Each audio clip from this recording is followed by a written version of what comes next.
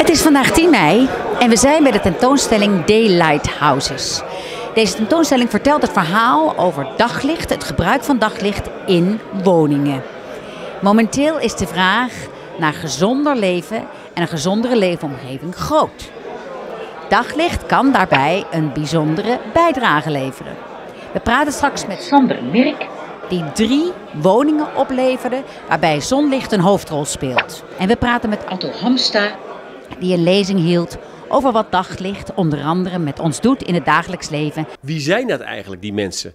En wat, hoe zit dat menselijk lichaam in elkaar? En wat is de relatie tussen dat menselijk lichaam en het functioneren van het menselijk lichaam en de omgeving?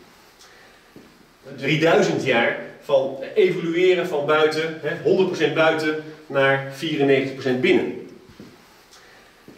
En die grootste periode dat we hier aanwezig waren, op de savanne, of de steppen, dat heeft natuurlijk ons hele uh, systeem bepaald. Uh, en daar heeft die evolutie plaatsgevonden. Dus in principe, en dat zal ik straks ook nog wel eens, we zijn gewoon nog steeds buitenmensen. Voor alles wat de natuur ons biedt, is er een technische oplossing. En het heeft lang niet de kwaliteit die de natuur ons biedt. In al die periode, tot ongeveer 1930, 35, was daglicht de basis voor onze architectuur. En vanaf 35 zijn we dat op een of andere manier vergeten. En dat had natuurlijk te maken met die technologische ontwikkeling. Wij, wij, zijn om een of andere reden nog niet in staat om heel bewust met daglicht om te gaan. Daarom laten we het op de tentoonstelling ook heel bewust zien met, met lichtlijnen op de grond. Die zijn in de kleuren van de verlichtingssterkte, van uh, ja, donker tot licht. Hoeveel relaties er zijn tussen daglicht en ons menselijk functioneren, ons bioritme. Aan de, aan de technische kanten, mensen die apparaten verkopen, er zijn heel veel belanghebbers en, en ook hè, marketeers. Aan de medicijnenkant heb je dat ook. Alleen wie, wie vertegenwoordigt het belang van de zon? Dus met die lijnen willen we uh, in, beeld brengen uh, wat het lichtniveau, de licht, verlichtingssterkte binnen in de ruimte is.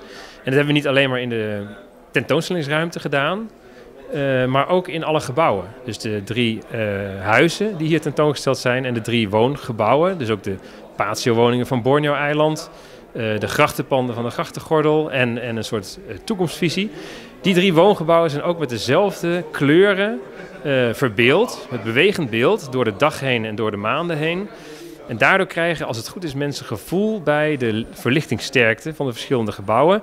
Waarbij we hebben uitgelegd dat uh, rood heel goed is en blauw uh, niet zo best. Blauw is donker, rood is licht.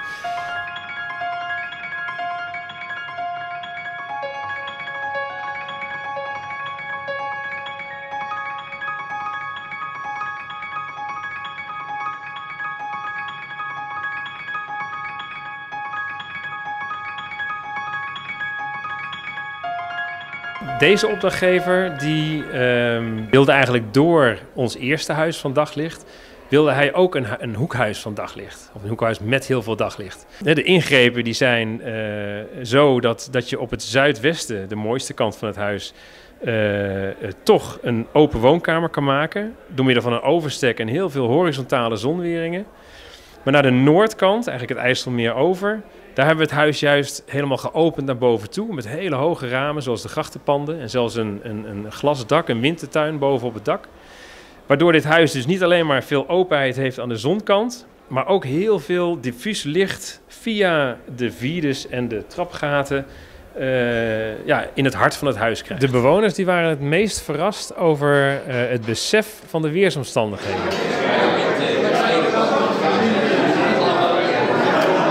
Je zoekt vaak naar de beste ideeën en je probeert dingen uit. Eigenlijk is ieder ontwerp kan een onderzoek zijn ook. Eigenlijk heb ik gewoon uh, uh, heel simpel gezegd drie bijzondere huizen gemaakt en hier tentoongesteld. Maar er zat een rode draad in en dat was daglicht. En die uh, kan je nu als een onderzoek het beste presenteren. Ja. Tot 13 juli is iedereen van harte welkom in het Borneo Architectuurcentrum, midden op Borneo-eiland. En daar hebben we op de begane grond uh, een hele mooie, compacte, informatieve tentoonstelling die waarschijnlijk voor de meeste mensen een eye-opener zal zijn.